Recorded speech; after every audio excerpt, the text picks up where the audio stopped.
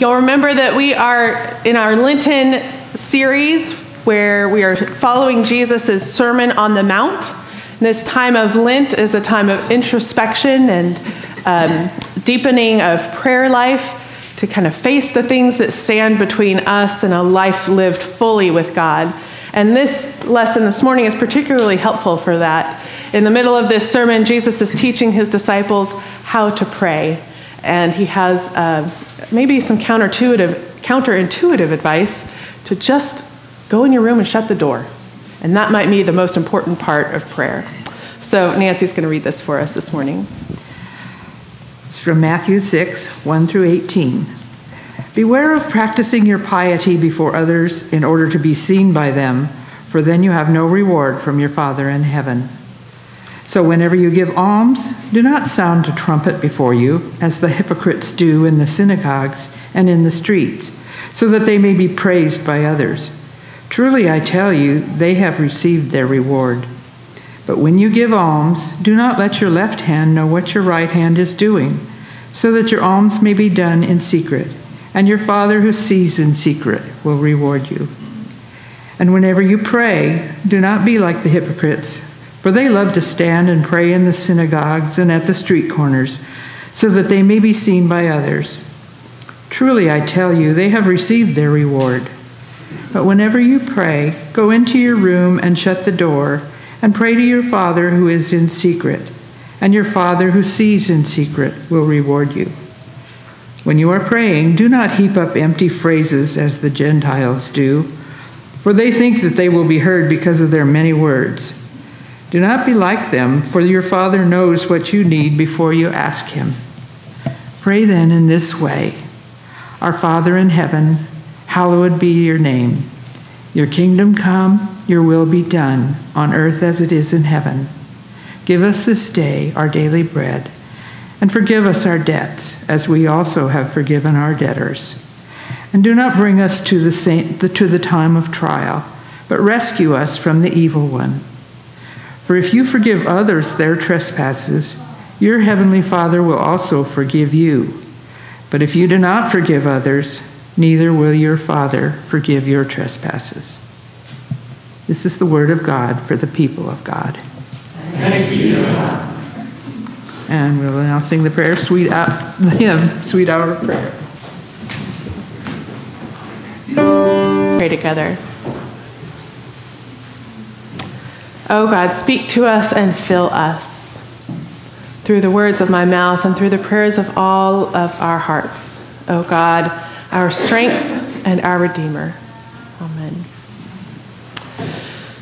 Well, since it is Camp Sunday and we're all sitting around the table family style, why don't we just start with a little question that you can talk about in your table groups? And if you happen to be in the back, you know, just turn and talk to the people around you. Uh, but here's the question. So Jesus says, go into your room and close the door and pray by yourself. Now, for all the introverts in the room, they're probably like, hallelujah, yes. and extroverts are like, what, by myself? How can I get anything done by myself? So, uh, in your table groups, why don't you answer either um, what is easy for you about being by yourself or what is difficult for you about being by yourself? All right? There you go.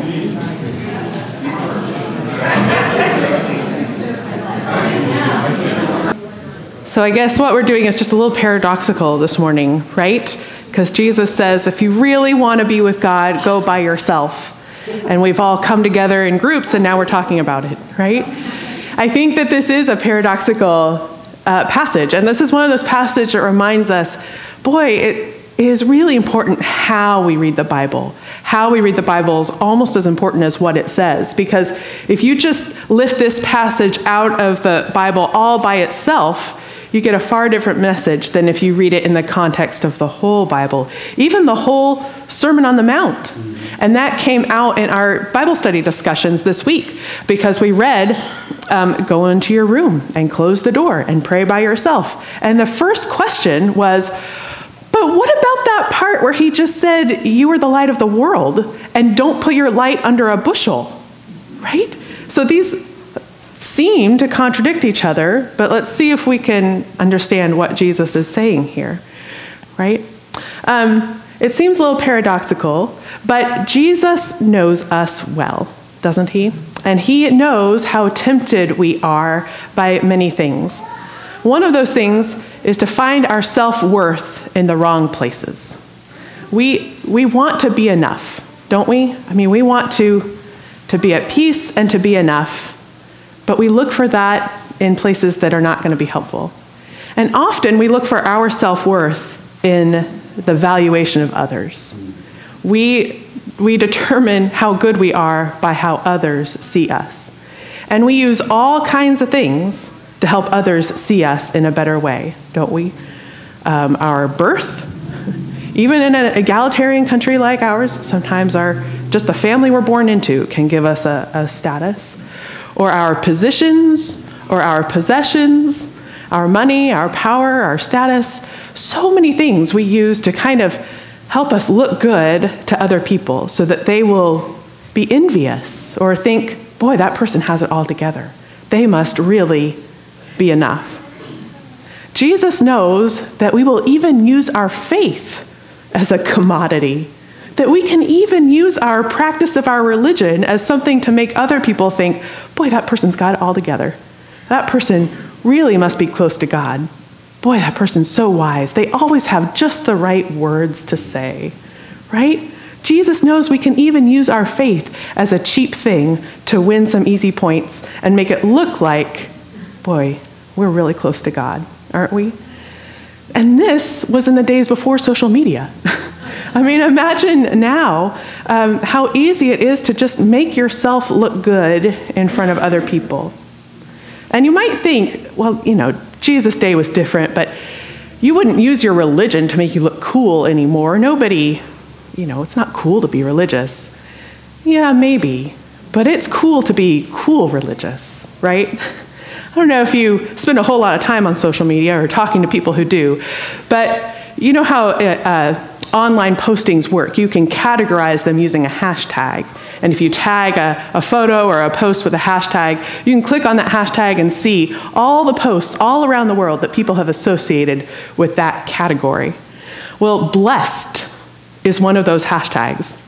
So if you go on Instagram and you check the hashtag blessed, do you know how many pictures are there? 108 million. Right? 108 million, yeah. And if you look at that category, half of them are memes with the word God in them, which are semi inspirational. Things like, God's got you, you got this, you know, that kind of thing. And the other half of them seem to be people who are really beautiful, wearing bathing suits in tropical places, and, you know, they post a picture of themselves on vacation, hashtag blessed. this is a very public uh, way to kind of say, boy, you've got it good. And um, it's even become so popular that I hear people using hashtag blessed as a joke now as a joke of saying, as a way of saying that something is just too, too good, right? So someone will do something and say, oh, well, you know, hashtag blessed, right? I mean, Jesus knew us. He, he knew us before Instagram. He knows that, that we just have this, there's something in us that wants to put on a show, and we will even use our faith to do it. And so Jesus says, if you really want to know how to pray, just get rid of all that temptation. Just get rid of all of that uh, desire for someone else to think that you are close to God. Because if that's what you want, if you want Instagram likes or hearts, or if you want people to think you're awesome, then you're going to get it, and that's all you will get. You won't be close to God. You'll get all the others thinking you are, but you won't. You'll only get that as your reward. So he says, just shut them all out. Get rid of all that other stuff, all the temptation for people to think you're wise or learned or close to God or an awfully calm person. Just get rid of all that. And you know what's left when you get rid of all that? God. You and God. And that is when the transformative prayer happens. Because when you get rid of all of that, who are you left with? Yourself and everything that you bring and God and everything that God brings. And it's a really good match. Jesus says, here's how you should pray. right? Once you shut everybody else out, you don't need a whole awful lot. You really don't. You just say about four things. He says, uh, first, ground yourself in who God is, right? Remember that God is with you and just be centered in God's presence. Hallowed be thy name. Then he says, give God thanks for what you've received. Or, uh, sorry, that's number three. Number two is to uh, uh, remember that God has a will. And it's God's will that we want to live out, not our own. Not the things that we want, the things that God wants. And we can align our will with God's. Not my will, but thy will be done. Then God says, uh, I mean, then Jesus says, give thanks for what God has given you and tell God what you need. You need your daily uh, bread. You need your daily things, the, the physical things that you need to be fully human, and also the spiritual things you need to be fully human. You need bread, but you need forgiveness. You need healing. You need resistance from temptation. We, we need things, and God provides them. Not other people, but God. And then prepare yourself to go back into the world and live in that way. So lead us not into temptation, but deliver us from evil. Right? This is the pattern of prayer. And you can do this all the time and anywhere. You can say those words that Jesus taught us in that Sermon on the Mount, or you can just use that as a pattern to help you remember oh, God, I'm so grateful that you are here. And uh, please help me to remember that you are with me all the time so that I can do what you want, not the things that I want. And give me what I need today. Help my bank account make it to the end of the month. Help me to have enough time for my children. Help me to, to put aside those things that weigh me down, or help me to find some healing about this thing that is paining, uh, giving me so much pain. And be with me when I have to leave this place and go out into the world. Help me to be the kind of person you want me to be. Right? Just closing everybody else out and being with God will help you to have that relationship with God. Don't Instagram it. you Instagram it, you just lose everything, right? Except, except that Jesus says you're the light of the world. Don't hide yourself. Um, Jesus, how does this work, right? Remember when he says you're the light of the world? It's after the Beatitudes. When he tells the people gathered what kind of people they should be, because what kind of people live with God. It's not the rich and the powerful and the ones who get all the decision making, all that. It's the peacemakers. It's those who are humble and meek, those who hunger and thirst for righteousness. You can be that kind of person. And if you are that kind of person, there will be no hiding it. But you can really only be that kind of person if you spend time with God. You can't be that kind of per- person if you're trying to show off for everybody around you. So, does it sound paradoxical? You've got to go by yourself so you can be with God so that others will see your light shine. But if you want others to see your light shine, you're going to miss it entirely. It does sound paradoxical, and it is. And I'm sorry. but uh, Christianity leads us to some paradoxical places, right? I had another objection to this passage this week, and I was frustrated uh, with Jesus um, for helping for having me read this passage when I then had the experience that I had this week. Um, so.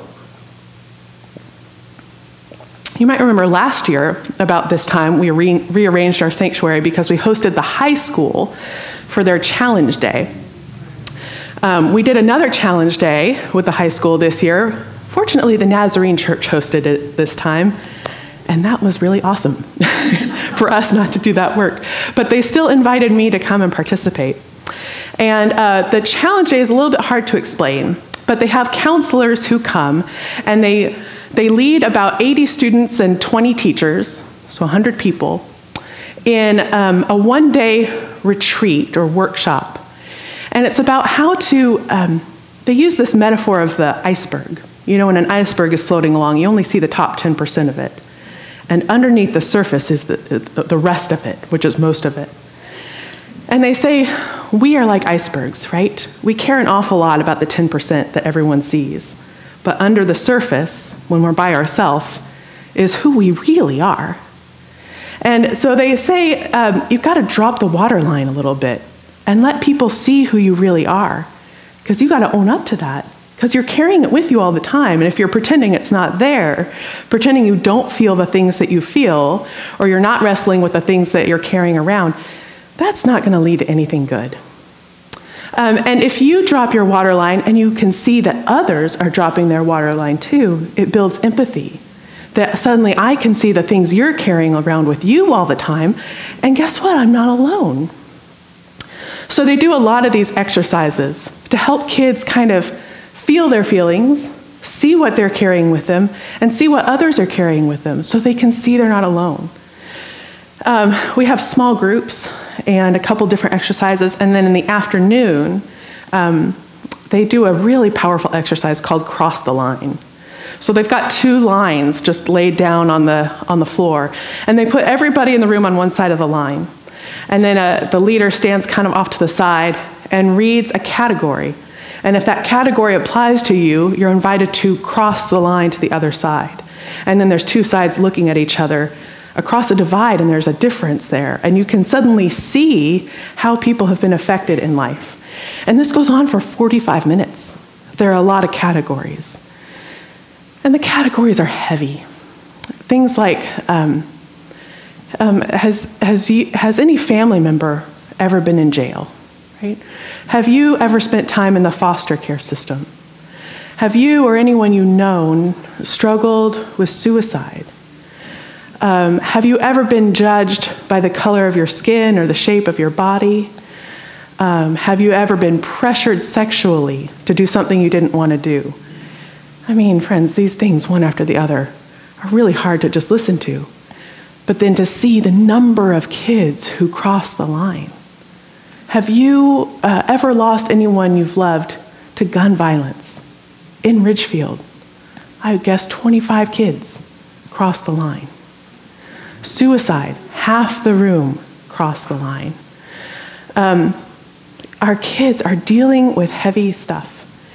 Because why? We are dealing with heavy stuff, right?